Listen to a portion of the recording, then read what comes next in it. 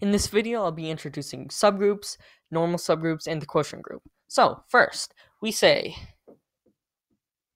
H is a subgroup, H a subset of G is a subgroup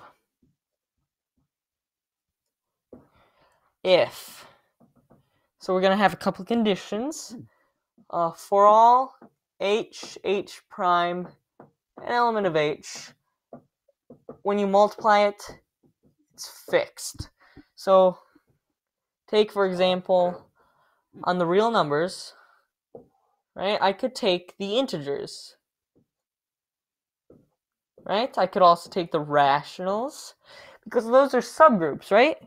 Because for any of the real numbers are addition here because for any two integers an integer plus an integer uh, is an integer okay uh, and a rational plus a rational is a rational. So those are fixed, but that's not the only condition, is that the identity is an element, which is also true.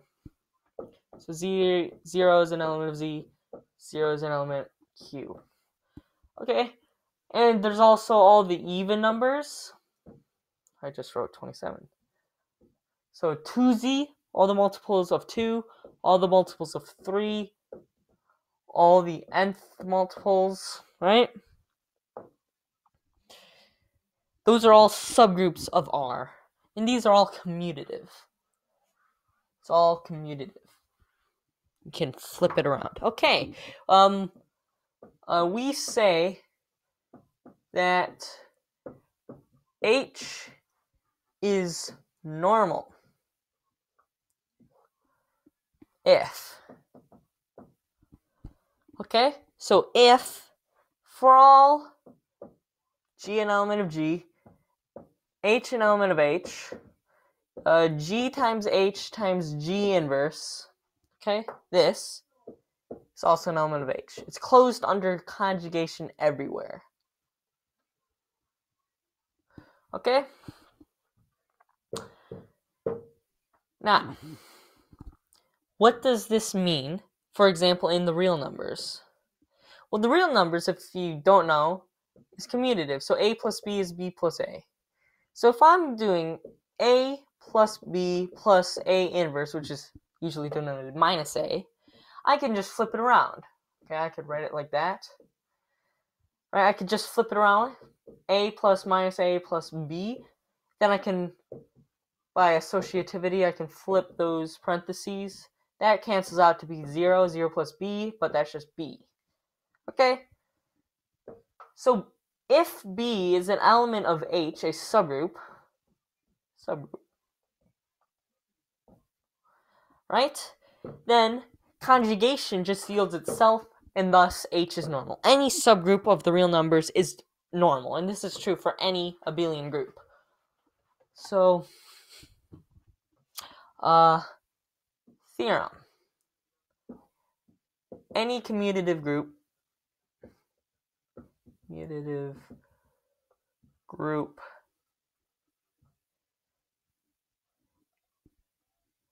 given a given a commutative group given a commutative group any subgroup is normal proof Okay. Um. Suppose. Suppose.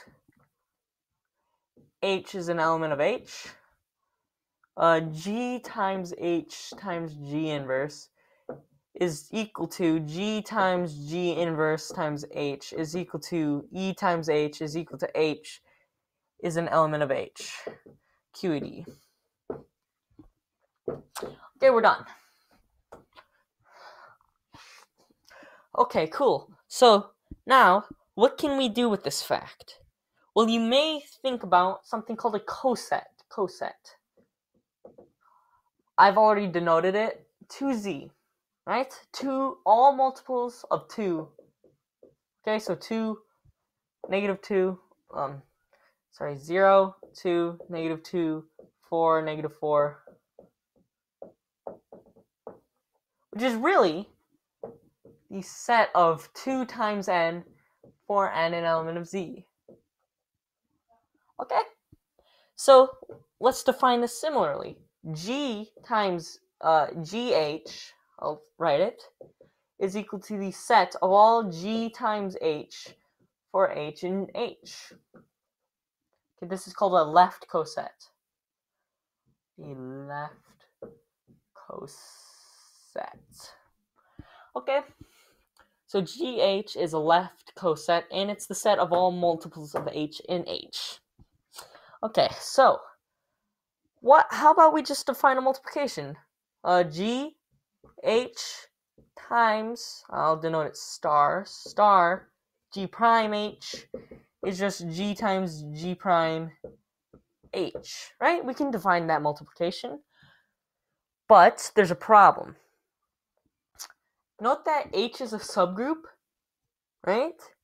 And that means that H times H prime, or H times H, this coset, right? H times H, just H, right?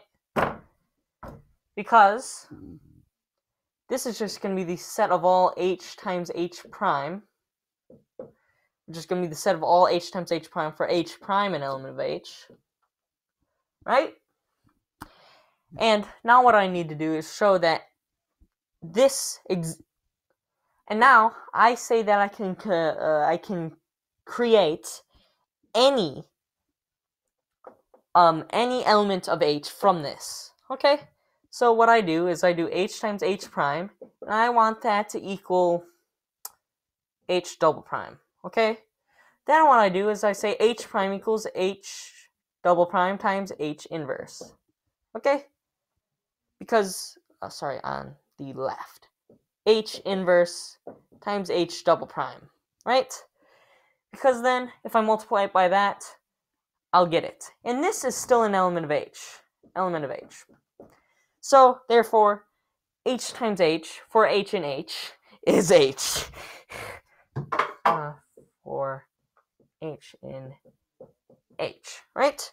So what if I chose, instead of doing G, this is going to be the same thing as GH times H, or GH, H, right?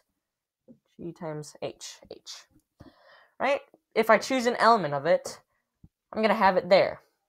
And I know that if I multiply this by G inverse, but I can multiply that by the same H, G inverse times H, yeah, right? I should get the identity, which is just h. Okay?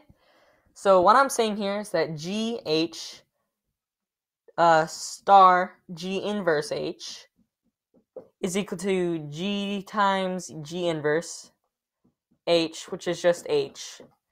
And now what I'm doing is I'm re-electing a representative that yield the same exact thing.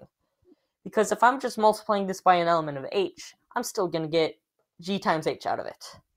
Okay? So,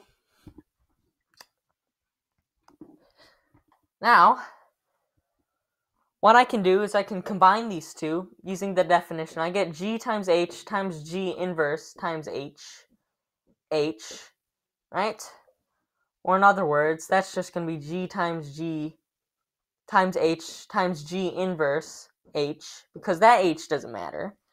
And how do I know that this is going to be an element of H? Right? That's the only way I'm going to get H is if it's an element of H. Well, if it's normal, if it's normal, that's exactly the condition. So um, H must be normal for this to work.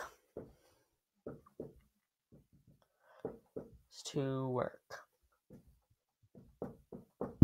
Okay? Okay, so for this multiplication to be well defined, h must be normal.